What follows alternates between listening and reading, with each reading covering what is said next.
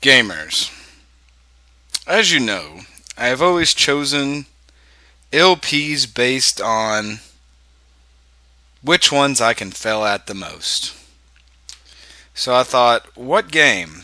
What game can I play that is full of fail and no matter what,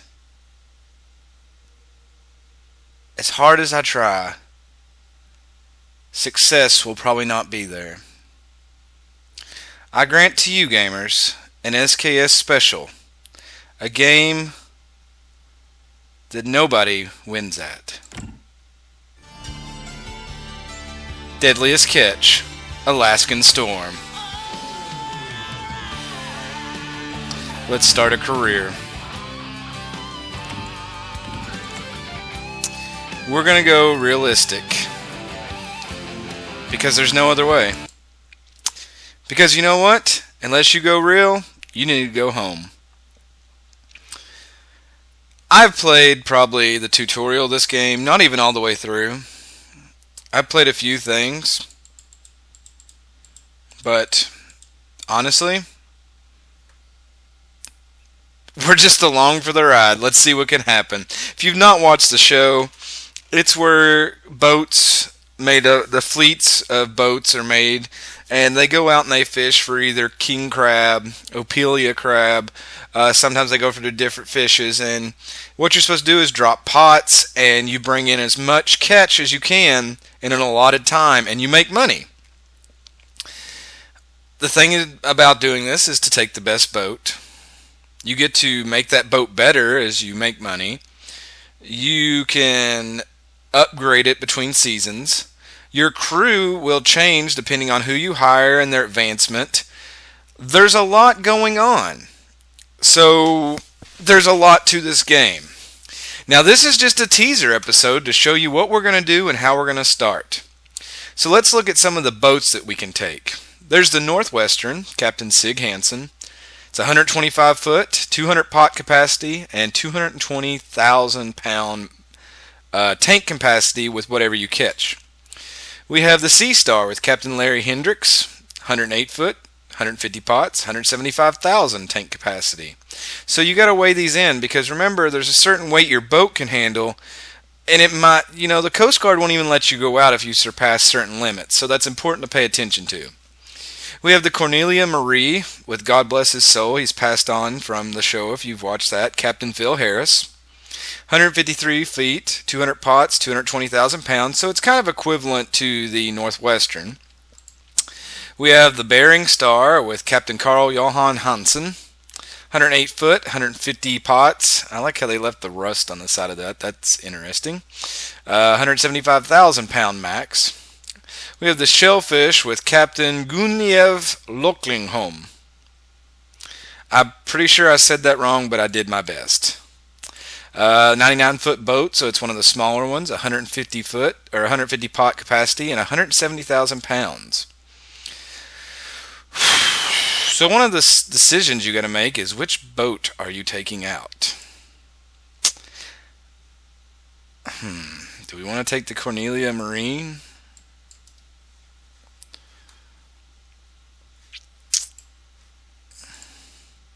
The Bering Star, I've thought about it. It's interesting. The shellfish is just, I want a bigger boat so I can bring in more. The Northwestern, I, I kind of like leaving them out there so I could talk to Captain Sig. Let's take the Cornelia Marie. We'll customize it and we'll make it our own. So let's click the customize button. The colors, this this won't do. Um, the cabin, We need kind of a darker blue. Oh, that's not dark. There we go. Upper hull. Yeah, we want that same color blue. I don't know if we can get it. That's about right. The railing. Can we get some white going on here? No, I definitely don't want white because if ice builds up, I won't be able to tell. I don't really like that bright red, but if we can darken that down a little bit, there we go. Now it's looking good. Forward mast, ah, I could care less. That's this right here. Hull interior, that that's fine. Lower lower hull, um,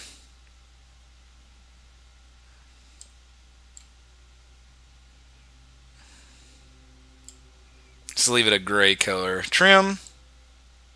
Oh, it's up here at the top. You can see it. Uh, we'll just leave that gray. I don't think that really matters. Trim 2. Nah, we'll leave that in the middle. Uh, waterline. Uh, this we'll go with the white line. Just so I can see it. And the boat name. Ooh, big CM on the front. We kind of want to make that a white color. And the shadow yeah, we'll give it that reddish background. That looks good. What do we want our cabin to look like? This is hideous. So we got two options. I'll go with this one. And the name. What do we name our ship? What would be a good name for it? Uh, the Salty Swallow? No.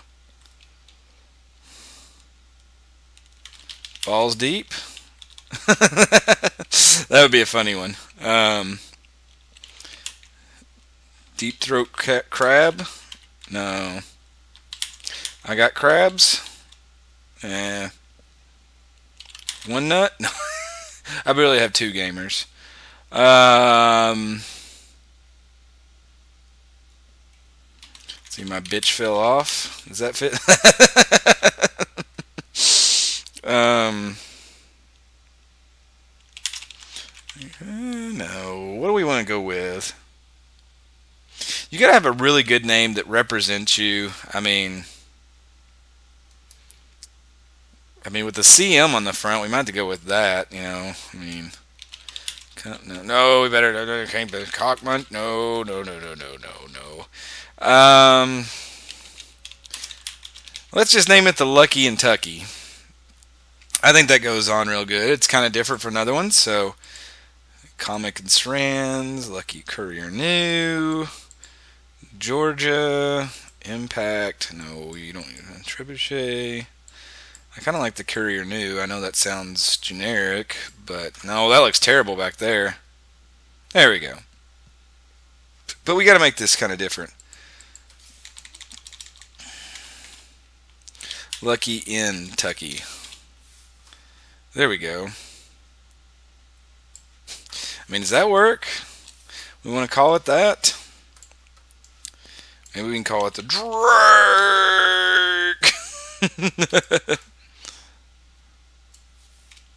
we can name it after him. We can name it the Francis Drake. I like that. I like that a lot. The Francis Drake.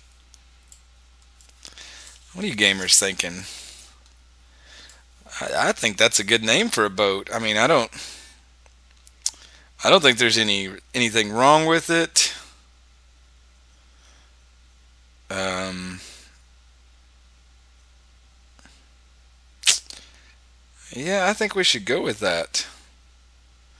Yep, let's call it the Francis Drake. Let's go with that. Drake! Okay, let's accept. Uh, we will make a new save. Save the boat.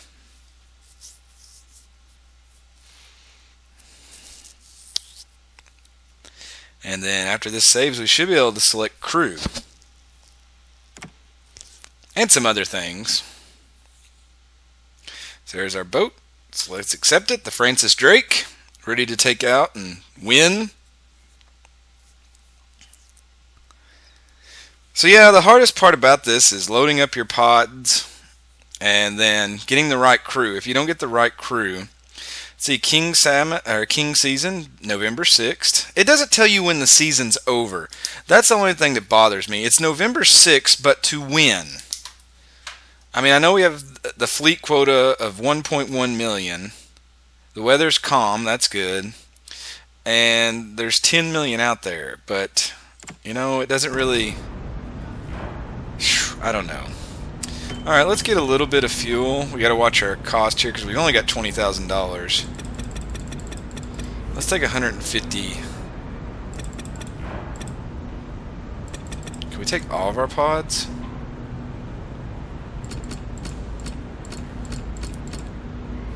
900 bait. Yeah, let's do that. All right, let's hire crew. Who do we want to get? Who's available? We have Terry Fletcher. You can see their stats here stamina, speed, experience, leadership, crane manning, hook throwing, swimming engineering, emergency cooking, and then it says this this is the percentage of your profits you have to pay them. So you have to divide this out between yourself, your cost, and the five crew member. Usually you want to take two to three experienced people. The higher this experience bar, usually the higher the salary. And then you want to take some greenhorns along. Um, so we got her. We have Spike, 3%. Experienced crew member, stamina and speed. His hook throwing's pretty good. Swimming's good. Emergency. We have Buster, 9%. Jesus Christ. Buster Sheshnikov. He's pretty good at everything. He might be somebody to get for the deck lead. Dan, 7%. Man, these people are old. We have Matt Bradley. He's young. Great hook throwing, cooking, speed. We got Jake Harris. His dad is the one who passed away, one of them. Uh, 6%. We have Stan Hansen, monster. He's another good crew member, 7%. Albert, 6%. We got Tom, 8%. Jeez. Kenny, he looks like he's about to fall apart. Edgar, that's Sig's brother, right? Yeah. Uh, jeez, 10% though. Man. And then we have Jake. Now I have it on realistic, so I really need to get a good crew to go with me. Um, either Buster or Stan. Now who is the other guy? Edgar would be the person I'd want to take. Man, I don't know. I think I want Buster as my deck boss. Let's go with that.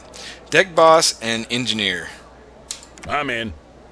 Nice. So that's 9%. So now we need to start slowing it down a little bit. Let's see, Matt. He's really good at cooking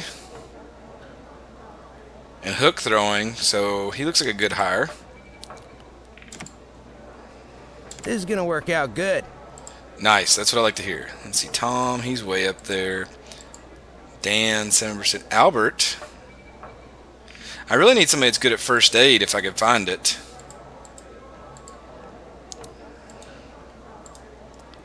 Eh, she's okay, but not to sound sexist, but I really don't want to take a woman. Let's see, Dan. Ooh, Dan. So seven. So we got Buster that's nine, Matt that's six, Dan. Eh, might as well. He can be the medic and the Sure. deckhand. I'll see you on deck. Thank you, Dan. Now we need to get some cheap people. Jake here looks pretty cheap. Do we have anybody cheaper than him? Spike.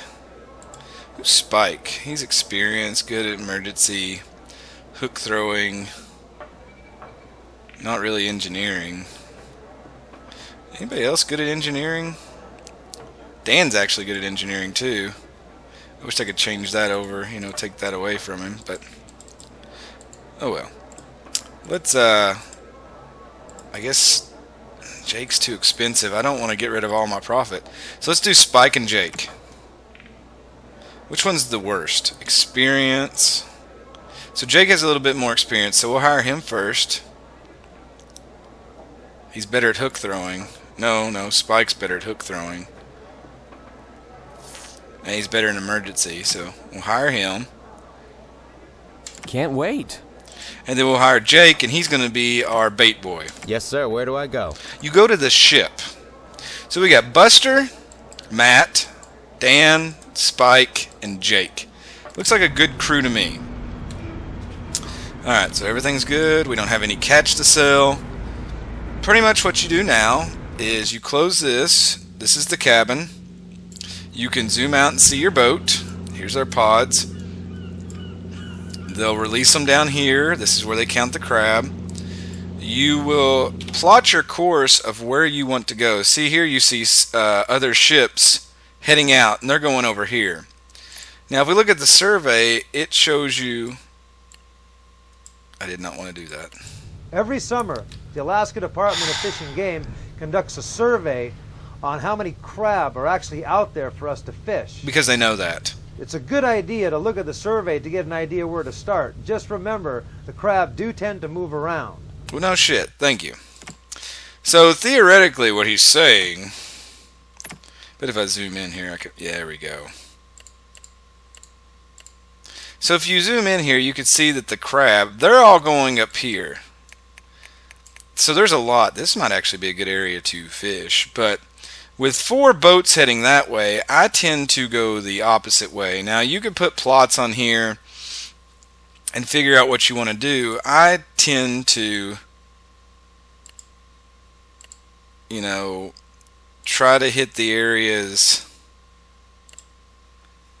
that I can and kind of do a circle. What is that? 40, 4, 4, 16, so 160, that's 200. So we're good there. I don't think we have 200. Yeah, we only got 190. So that's about right. So we'll drop these and circle around and then we'll come back and hopefully we've hit the areas. That's my plan. Now, whether that happens or not, you know, you can look here on the weather. We can zoom out and see the weather's kind of light, so not a big deal. We don't have to really worry about that. Crabs, we've already gone there to the survey. Um, so hopefully we got a good thing. Now what you'll want to do here is you set these points. So you have to come out from the harbor, and then you'll want to come, we need to zoom in here. Most of this is done by fast travel because you just don't want to waste time. So we'll hit fast travel you can see everybody moving. We have to wait till this counter comes down so the season starts. You cannot start the season until you get there.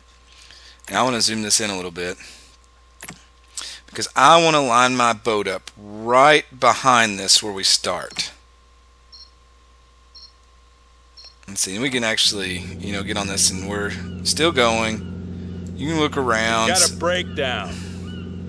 Are you shitting me? We've already had something break and we just start. The season hasn't even started. Fucking Buster, fix it. I'm on it. Hope we can get fixed up fast. Well, no shit, because we've not even started. The, the luck of SKS is already hit. Oh my god. But yeah, just to show you up here, it just tells you who what everybody's job is. Here's when you drop the pots. This one brings them back. You can rest. When ice gets on there, you use this one and you have them go out here and break ice. So the game's fairly realistic if you've ever watched the show. I'm actually excited to start this this LP. Let's go back to the plotting map and we'll fast time out there and hopefully they got the ship fixed before we get there. Good. So let's keep going. If you got four or five guys that are already deprived of sleep. Um, ultimately, they're going to need some sleep, so four hours might be beneficial to you and your crew. But you can get by for now on 30 minutes. Um, choice is yours. 30 minutes. How is our guys already sleep deprived? They're resting. Their health is all the way up. Now, their morale is kind of down. We've not even started the season, so hopefully that's just because of that. I don't know. We'll have to see when the season gets ready to start. Let's go back to the plotter map. Let's fast time up here. Now we still got 12 hours till the season starts, so you want to let your guy, your crew. You can see where everybody else is going to fish. We got the Northwestern here, the Sea Star, the Bering Sea. I guess this would be a good area to hit out here because there's a large number of them. Here I'm taking a chance because it's a narrow strip of where they're at, and hopefully I hit where they're supposed to be. Now, Let's see if we can... Alright. We should be in a good spot, relatively close, you can see here on the map, where I could swing this boat around. And we should be heading right toward where those points are.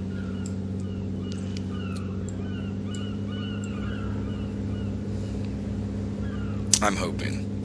But anyway that's kind of what the name of the game is going to be. We're going to get ready, we're going to drop our pots, and things will be alright. But gamers, you'll have to wait till next time to see me start dropping pots.